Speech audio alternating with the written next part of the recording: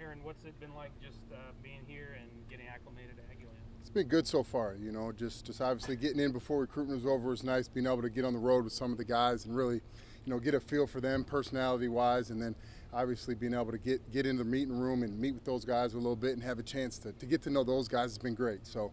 Um, so far, so good. The family's all moved in. We're, we're in a house, and we're, we're you know that, that makes everything twice as easy. And uh, you know, just just so far with spring ball, it, it, the transition's great when you can get right on the field into 6 a.m.s into spring ball, and and it's it's it kind of like slows everything down for you. And now uh, coming to an end, it's it's been a good spring so far. Coach Oliver Buchanan, Texas, do you have a feel for the uh, for the quality of the, the hand you've been dealt? Yeah, you know, I think as you watch film from last year, you, you kind of watch the guys work, you watch the guys out in practice and how they're doing, you start to get a feel for each guy, and you, you know, there's only so much you're going to gain from a spring ball, in my opinion. I think, you know, you obviously have to get out and put those guys out there on Saturdays and really see what they're about, see who's going to step up and who's going to really make plays when the lights are on. But, uh, yeah, the, the group's been doing a great job. They're working hard. Every day, you know, is a different challenge, and each guy has their different challenges that you work through. And I think as long as those guys have, are going to work and continue to get better, not only through the spring, which they have, but throughout the spring at the at the end of it, and then the summer, uh, we got a chance to be a, a really uh, great group, in my opinion. And and as long as you know you continue to get Josh Reynolds healthy and those guys, and and you know I think he's obviously a big part of this offense, a guy that we need out there. And you know I haven't had a chance to put my hands on him yet, but um, you know it's going to be good to get him back. But but with the way the group's progressed so far, you know really really excited about what the future holds.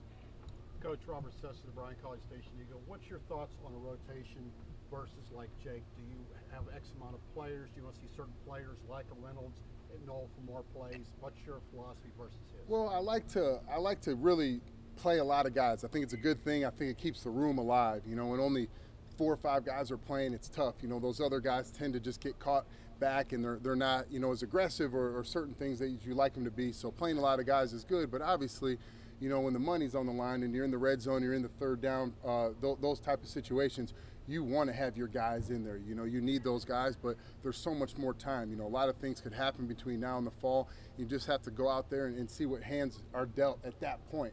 But you know, you know, it's it's just kind of a different feel. If, if a guy can handle 70 plays and he's your best player, we'll keep him in there for 70 plays. If a guy's going to get tired once he gets past 60, we'll try to keep him at 60. And that's you kind of just have to have a feel for that a little bit. But um, you know, I think as we go in the in the fall, that that'll kind of shake itself out. But um, you know, right now I'm just trying to see how these guys are doing, see how they're getting better every week, and see how much they can handle when the fall comes.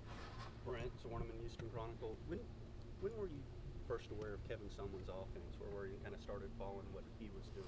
Well, I mean, I think as a as a football coach, as a fan, you kind of understand what this spread has done, and you look you know, when I was coaching and I was GAing at New Mexico, we played against Mike Leach, and it's it's it's kind of similar to what those guys are doing, and, and you kind of understood what they were doing and why they were doing it, but until you sit down and really get to put your kind of head in the playbook a little bit, see the film, uh, it's it's it's different and, and it's good. You know, it's a great offense. When you look at the teams that are out there doing it, the West Virginias and the obviously the Washington States and still Texas Tech and, and, and those guys. I mean, it's a great offense. It puts up big time numbers. It's why I was so intriguing of an offer to come here and, and you know it was it was a tough decision to leave, but just seeing the possibilities what this group had, who they had coming in, with the also you know kind of the the ability this offense has to score so quick and so fast. I just I loved it, and um, you know obviously Coach Sumlin's a, a, big time name, a guy that grew up in Indianapolis and, and understood that part about him, and uh, you know it was a, it was a very special deal. And as I've been here for a couple months, you begin to realize how special of a place this is, and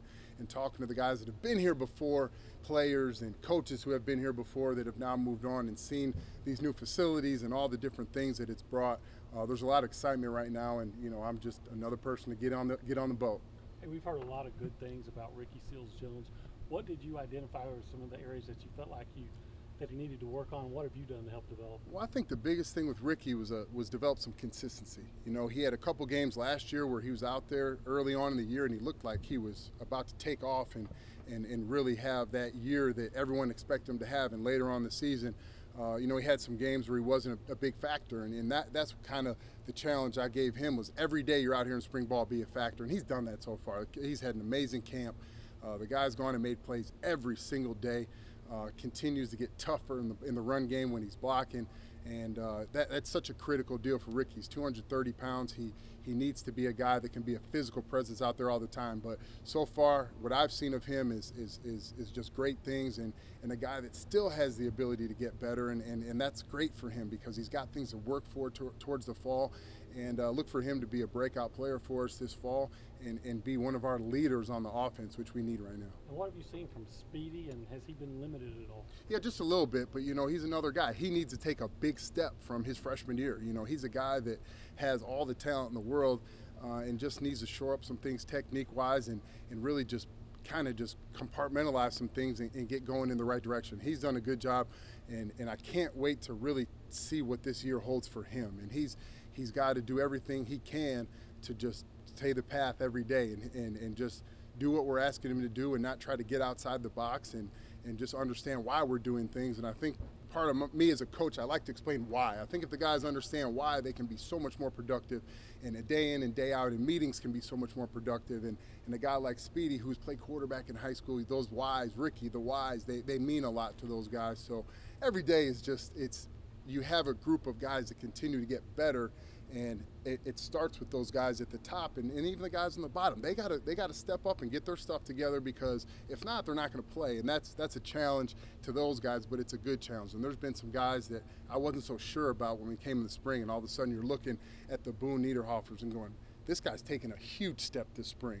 And you look at a guy outside Damion Ratley who, who just got here. He's progressed tremendously this spring uh, and, and, and, Frank. I mean, Nacho's done a great job over the last three or four practices of just trying to understand what's going on and making some plays. And, you know, now it's up to them for this, like I said, this end of the spring and the summer to, to take their game to the next level.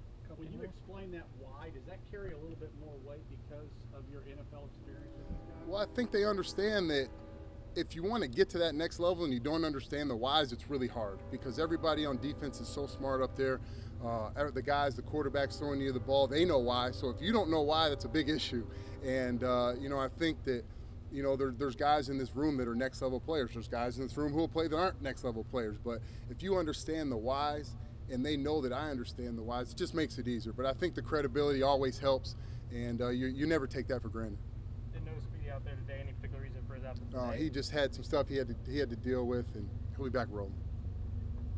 All right. What about Chris? Or sorry, Courtney Roll on Rivals.com. Christian Kirk, a five-star coming out of high school. How's that translating over to the college level? I tell you, Christian's done a great job this spring, and uh, he, he's a guy like you said came out with a lot of hype, and he, he's doing a great job of living up to that right now. Um, he's done a good job in the slot of, of using the, his size and his speed to, for some matchup, uh, you know, problems right there for the defense. And uh, he's a guy right now, again, that just every day is getting better. He's learning.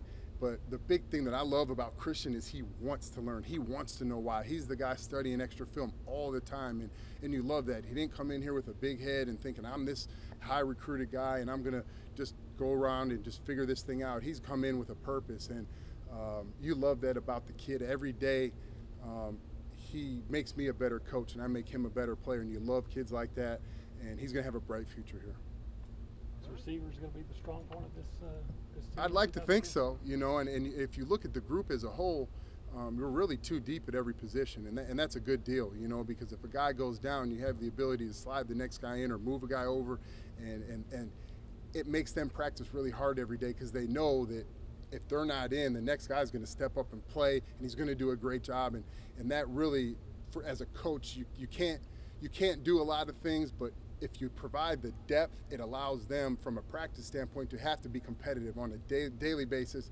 and not even just in this drill or this drill, it's the entire practice. And guys understand that. And, you know, like I said, they've been working hard, and, and there's going to be some guys that – you know, come come the end of the spring are going to have to realize where their role is. And if that role's a, a guy, a role for a guy who's a scout team guy that thinks he's supposed to be playing, that sometimes that's hard to take. But you know what? That's this business. That's this team, and we're moving on with the guys who we think are going to make plays on Saturdays. If you're not that guy, then we'll move on without you. And and that's kind of been something this spring that I think a lot of guys, not just in the receiver room, but on this football team, have began to realize that you know, we're, we're not going to sit back and wait for you to figure it out. We're rolling, and we're, we're, we're here to win an SEC championship. If you win an SEC championship, it's proven you're going to be in the national championship hunt.